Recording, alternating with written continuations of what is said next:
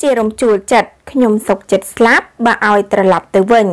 សម្ដីក្មេងប្រុសម៉ារ៉ុកហាលសមុទ្រភៀសខ្លួនយំអង្វរទៅហ៊ានអ៊ីស្ប៉ាញ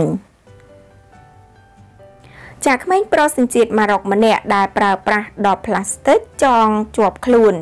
ហែលឆ្លងពីប្រទេសខ្លួនទៅតំបន់ឃឺតាប្រទេសអេស្ប៉ាញក្នុងសប្តាហ៍នេះបាននិយាយថា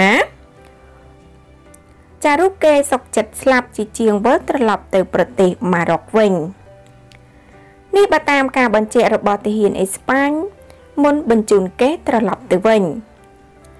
ចាក្មេងប្រុសរូបនេះបានធ្វើឲ្យបណ្ដាសារព័ត៌មានអន្តរជាតិជាច្រើនចាប់អារម្មណ៍ជាខ្លាំងចាខណៈរូបគេបានអណ្ដែតលើទឹកជាមួយនឹងអាវយឺតពណ៌ខ្មៅគ្របលើដបផ្លាស្ទិកដើម្បីអាចបណ្ដែតខ្លួនឆ្លងទៅប្រទេសអេស្ប៉ាញ ចាតើតាមសម្ដីទាហានអេស្ប៉ាញម្នាក់បាននិយាយថាក្មេងនោះមិនចង់វិលត្រឡប់ទៅវិញឡើយរូបគេមិនមានគ្រួសារនៅប្រទេសម៉ារ៉ុកទេ ហើយគេក៏មិនខ្វល់ឡើយបើទោះជាត្រូវស្លាប់ក៏ដោយ គេសុខចិត្តស្លាប់ជាជាងត្រឡប់ទៅម៉ារ៉ុកវិញ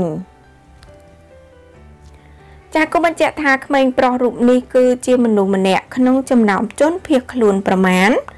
8000នាក់ដែលបានហាលឆ្លងវាឡើងតាមចារបងព្រំដែនចូលតំបន់គឺតាក្នុងសប្តាហ៍នេះក្រោយចាត់ក្រុងរ៉ាបាតបន្ធូរចាបន្ថយការត្រួតពិនិត្យតាមព្រំដែននោះចាប្រទេសអេស្ប៉ាញភ្លាមភ្លាមក៏បានដាក់ពង្រាយទ័ពនៅតំបន់គីតាចាដើម្បីត្រួតពិនិត្យច្រកព្រំដែនជាមួយនឹងប្រទេសម៉ារ៉ុកហើយក៏បានហៅស្ថានភាពនេះថា ជាវិបត្តិមួយសម្រាប់អឺរ៉ុបចាប្រិមិត្តពុកម៉ែបងប្អូន ជាទីមេត្រីចាសម្រាប់អត្ថបទព័ត៌មានចាដែលនេះខ្ញុំបានជម្រាបជូនបងប្អូននៅពេលនេះក៏សូមបញ្ចប់តែត្រឹមប៉ុណ្ណឹងចារាល់កំហុសខុសឆ្គងទាំងឡាយសូមខន្តីអធិស្ឋានចាហើយជាចុងបញ្ចប់